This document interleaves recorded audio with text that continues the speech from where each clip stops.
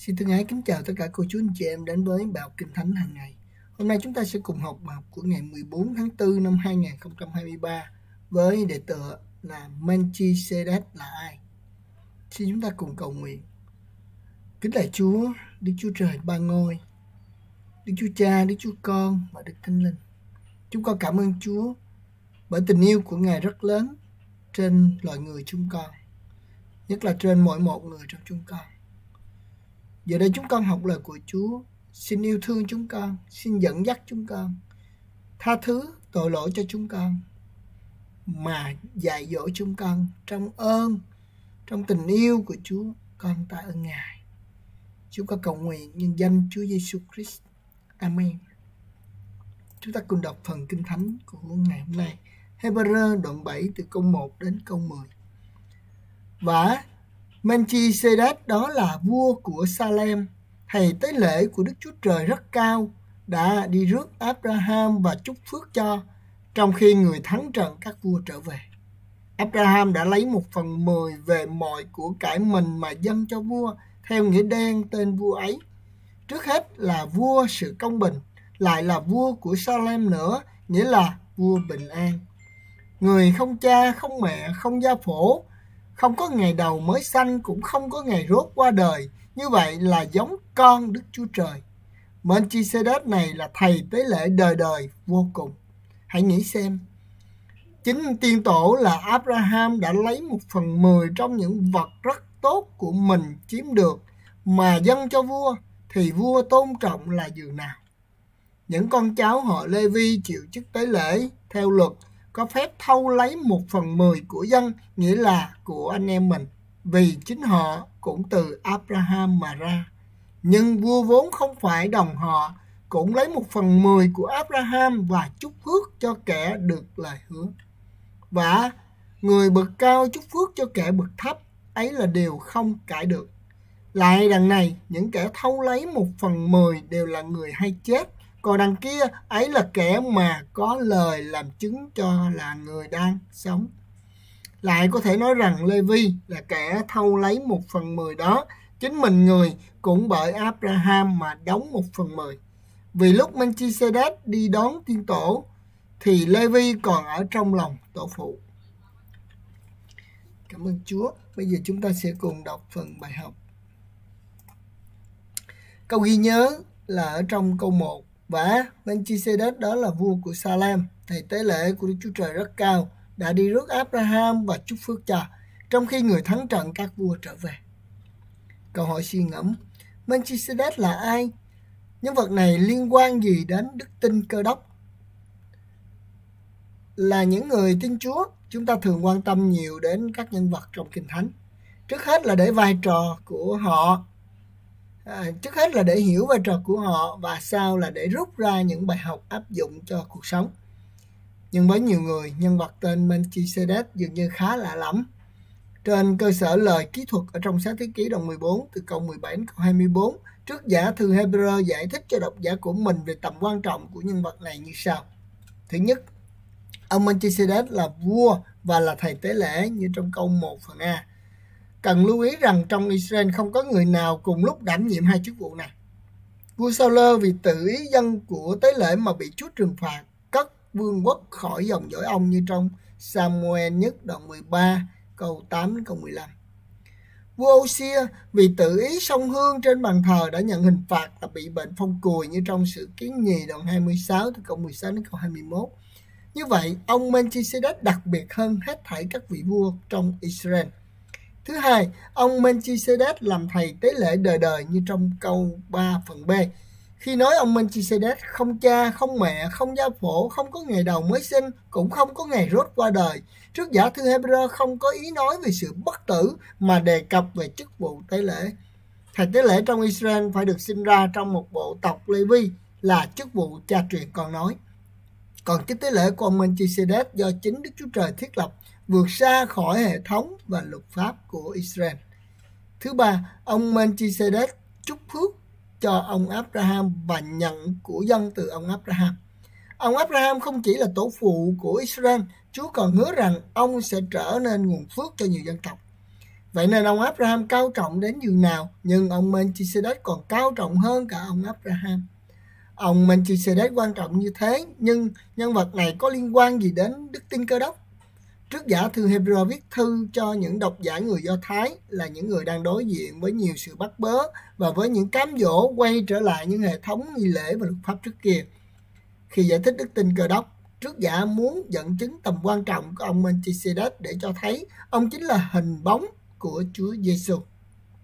Là thầy tế lễ thượng phẩm của giao ước mới, giống ông Melchizedek, Chúa Giêsu vừa là vua và thầy tế lễ. Nhưng Ngài cao trọng hơn tất cả và chức vụ của Ngài là chức vụ đời đời. Vì vậy đừng một ai đã tiếp nhận Chúa Giêsu là tìm cách quay trở lại con đường cũ. Hãy nhận biết những gì Chúa đã làm cho mình quý trọng đến dường nào. Cảm ơn Chúa. Dạ, yeah. à, có lẽ là à, bài học hôm nay lại cũng không à, giải thích gì được bởi vì ở đây là một cái phần mà chúng ta thấy rằng là rất là khó để giải thích. À, tuy nhiên chính lời của Chúa đã giải thích cho chúng ta. Ở đây khi giải thích đức tin cơ đốc trước giả muốn dẫn chứng tầm quan trọng của ông Melchizedek để cho thấy ông chính là hình bóng của Chúa Giêsu là thầy tế lễ thượng phẩm của giao ước mới. Như vậy thì chúng ta thấy ở trong thời của ước có nhắc đến Melchizedek là vị vua và đồng thời là thầy tế lễ thượng phẩm ờ, đời đời. Và ở đây chúng ta thấy rằng ờ, trước giả thư Hebrew cũng muốn cho chúng ta biết rằng đây chính là hình bóng của Chúa Giêsu. Như vậy thì chúng ta sẽ biết và khẳng định rằng Chúa Giêsu chính là vua trên muôn vua, chúa trên muôn chúa và là thầy tế lễ thượng phẩm đời đời. Cảm ơn Chúa. Chúng ta phải biết chắc điều đó của Chúa anh chị em. Bởi vì sao? Vì Chúa Giêsu đã đến thế gian này. Ngài đã dâng chính thân thể của Ngài, dâng chính mình Ngài làm con sinh chuộc tội cho cả loài người. Đó, bởi vì đó là chiên con của Đức Chúa Trời. Và Ngài dân chính mình Ngài cho nên Ngài cũng là thầy tế lễ thượng phẩm bởi vì Ngài đã dân của tế lễ là chính chính mình Ngài. Và Chúa Giêsu là đấng đến từ trời và Chúa đã sống lại và sống đời đời cho nên Ngài là thầy tế lễ thượng phẩm đời đời của Đức Chúa Trời ban cho chúng ta. Cảm ơn Chúa. Và Chúa cũng nói rằng Ngài có đến Ngài đến thế gian để Ngài mở ra vương quốc của Ngài và Ngài chính là vua trên muôn vua, Chúa trên muôn Chúa. Như vậy thì Chúa Giêsu là vua và cũng là thầy tế lễ thượng phẩm đời đời. Chúng ta phải tin chắc điều đó. Và như vậy thì Chúa đã dâng chính mình Ngài làm sinh tế chuộc tội cho tất cả chúng ta. Cho nên hãy ai tiếp nhận Chúa Giêsu làm cứu Chúa của mình thì người đó đã được chuộc qua sinh tế chính là chính là Chúa Giêsu Christ. Cảm ơn Chúa. Cô chú anh chị em nhớ ha, mình khẳng định đức tin của mình khi mình tiếp nhận Chúa Giêsu Christ làm cứu Chúa của mình. Và ở đây như trong bài học có nói đây, Chúa Giêsu vừa là vua và thầy tế lễ, nhưng Ngài cao trọng hơn tất cả và chức vụ của Ngài là chức vụ đời đời và đến từ Đức Chúa Trời. Chúng ta phải công nhận điều đó. Cảm ơn Chúa. Vì vậy, ở đây nhắc một điều mà lại muốn có cái bài học cho cô chú anh chị em và chính mình lại đó là vì vì vậy đừng một ai đã tiếp nhận Chúa Giêsu lại tìm cách quay trở lại con đường cũ. Có cô chú anh chị em. Những ngày qua lại gặp quá chừng luôn, lại gặp rất là nhiều anh chị em. Có những anh chị em à, đi theo Chúa thì à, gặp sự bắt bớ của gia đình thì lo và nói rằng à tại sao lại như vậy? Tôi bỏ đạo của ông bà cha mẹ tổ tiên để tôi tin chúa có đúng hay không? Hoang mang, lo nghĩ. Bởi vì sao? Bởi vì những người trong gia đình nói rằng mà như vậy, làm như vậy là là bỏ ông, bỏ bà, bội đạo. Và một số anh chị em cũng làm chứng lại là khi tin chúa thì bị người ta nói đó là gì? Đã có lời thề với đạo của mình mà đi như vậy là phạm phạm tội với ờ, đạo của mình, với ờ, gọi là ờ, thần của mình. Nhưng cảm ơn Chúa, tất cả những người bước theo Chúa mà làm chứng lại với lại đều nói một câu giống nhau. Đó là gì? Đức Chúa Trời là đấng lớn hơn hết. Cho nên, thờ Đức Chúa Trời là đúng nhất. Và không có một cái thần nào hay là một cái giáo chủ nào dám nói rằng bắt lỗi một người khi người đó thờ phượng đấng cao hơn hết? Có một cô nói rằng bây giờ thờ ông trời rồi, còn sợ gì những cái quyền lực kia nữa. Cho nên bây giờ mới là đi đúng. Cho nên lại nhắc cô chú anh chị em, đó là khi chúng ta bước theo Chúa, thì quyền lực của sự tối tăm, mình biết ha, không có cái thần nào hết trơn á, chỉ có sa tăng thôi sa tăng cùng với thế lực mờ tối của nó là những quỷ sứ, những kẻ sa ngã đi theo nó, những linh xấu, và những cái đó nó tìm cách để kéo chúng ta ra khỏi Chúa nó kéo chúng ta quay trở lại với con người cũ để chúng ta mất đức tin và chúng ta mất sự cứu rỗi của Chúa khi mà chúng ta tự ý bỏ Chúa mà quay trở lại con đường cũ. Chúa không bao giờ bỏ chúng ta nhưng mà chúng ta có thể bỏ Chúa đó. Cho nên xin Chúa giúp cho chúng ta và nhớ đừng một ai đã tiếp nhận Chúa Giêsu rồi mà lại bỏ Chúa quay lại với con đường cũ. Có nhiều anh chị em gặp gian nan, thử thách, hoạn nạn, bệnh tật rồi muốn quay lại con đường cũ. Có luôn là biết có người đã làm tới cái chức thư ký rồi đó nhưng mà tới cái lúc mà bệnh cầu nguyện hoài ờ, không có thấy Chúa ờ, ờ, đáp lời thì cuối cùng đã đi đến một cái khu vườn gọi là thần tượng rồi nơi đó cúng bái chỉ mong để Ờ, được ờ, khỏi bệnh và cuối cùng hư mất hư mất ở trong cái ờ, cái cái sự chối bỏ đức tin của mình mà tin vào cái thần tượng.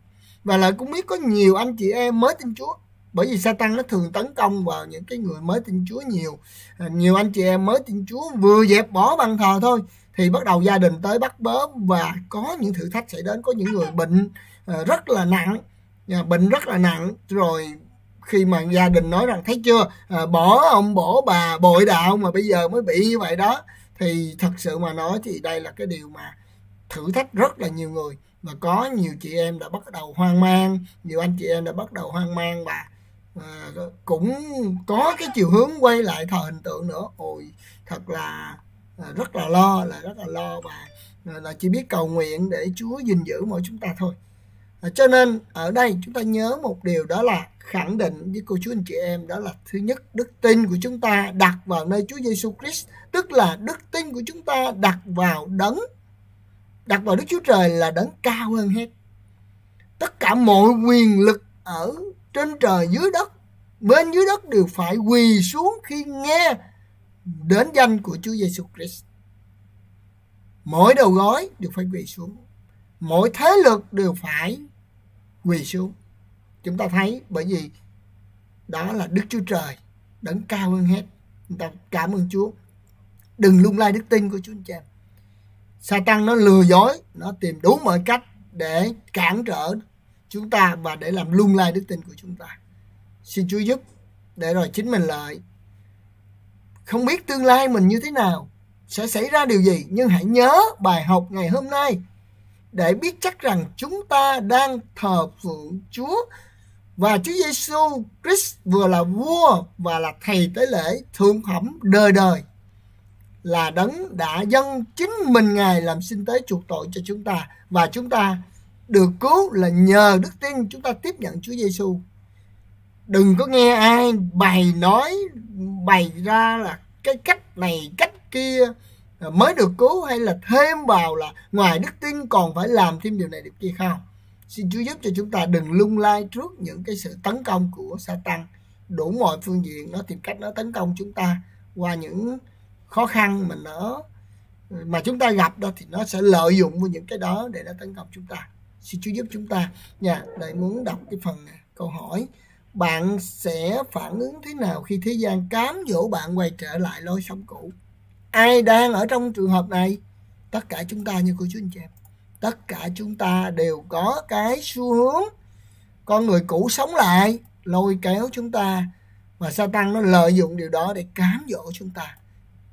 Và chúng ta phản ứng thế nào? Phải nhờ cậy nơi Chúa và biết chắc phải giữ đức tin của mình mà giữ đức tin bằng cách nào? Xin Chúa giữ cho chúng ta. Xin Chúa giúp cho chúng ta. Xin cầu nguyện lạy cứu Chúa Giêsu là vua đời đời, là thầy tế lễ thượng phẩm tối cao, là đấng hôm qua, ngày nay cho đến đời đời không bao giờ thay đổi. Cảm ơn Chúa đã đến thế gian tìm và cứu con, xin giúp con luôn biết ơn Ngài, sống xứng đáng với giao ước mới và quyết không quay lại đời sống cũ. Chúa ơi, con cầu nguyện, xin Chúa giúp chính mình con, vì thử thách vẫn còn, cám dỗ vẫn còn, vì chúng con vẫn còn sống ở trên đất này nhưng xin Chúa gìn giữ chúng con ở trong sự bình an của Chúa, trong năng quyền của Chúa để cho con được đứng vững. Con cũng cầu nguyện cho ông bà, anh chị em con, những người mà con biết và những người con cũng không biết nữa. Và họ cũng đang ở trong cái tình trạng đó là có cái sự tranh chiến giữa con người cũ và con người đời sống mới, con người mới như trong Chúa. Sự tranh chiến đó chỉ có Chúa giúp chúng con để chúng con vượt qua, bởi vì chúng con không phải chiến đấu cùng với thịt và máu nhưng mà chúng con chiến đấu cùng những thế lực mờ tối và chỉ có trong Chúa. Vì Chúa Giêsu đã nói, ngài đã đắc thắng sự chết và cầm chìa khóa của sự chết và âm phủ cảm ơn Chúa để rồi ngài ban cho chúng con sự sống. Tạ ơn Chúa. Cảm ơn Chúa. Xin Chúa giúp cho chúng con, giúp cho cô chú ông bà anh chị em con. Chúng con cầu nguyện nhân danh Chúa Giêsu Christ. Amen.